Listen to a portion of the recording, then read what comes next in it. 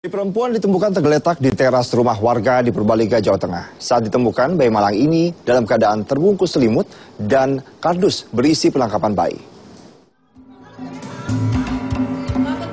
Bayi mungil berjenis kelamin perempuan ini ditemukan di teras depan rumah Nirwan di Purbalingga, Jawa Tengah.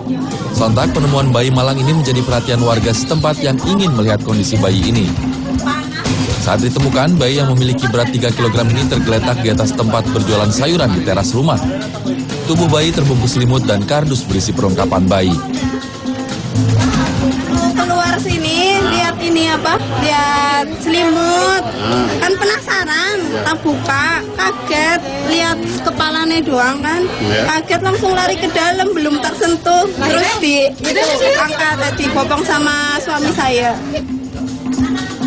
sementara, bayi yang belum mempunyai nama ini dirawat keluarga Nirwan dan mereka berencana untuk mengadopsinya. Diduga bayi malang ini sengaja dibuang karena hasil hubungan gelap. Sementara itu, kasus pembuangan bayi ini masih dalam penyelidikan aparat kepolisian. Imam Ambarwoto, Purbalingga, Jawa Tengah.